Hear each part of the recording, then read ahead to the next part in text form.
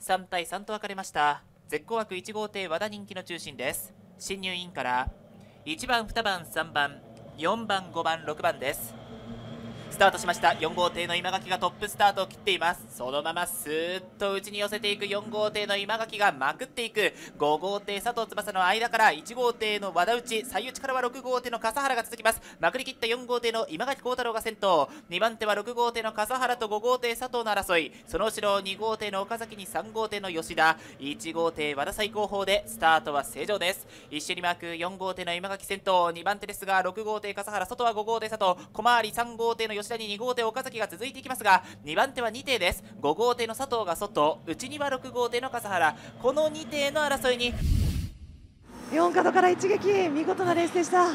チルト0度にしての手応えっていうのはどうでしたか？4号艇だったのでゼロでしたけど、後半はちょっと考えますね、はい。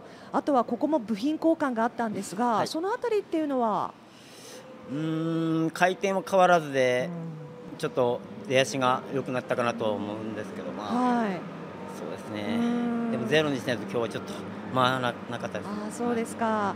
あの初日ドリーム戦を勝った時にははい。もう一足欲しいという話でした、はい、あの出足を落とさずに伸びがつけばというお話されてたんですよね、そうですね。うん、どうですかそのあたりは？うーん、まあ今のところまだ普通だと思ってるんですけど、はい。そうするとまだ求めるところというのはどんなところになるんでしょうか？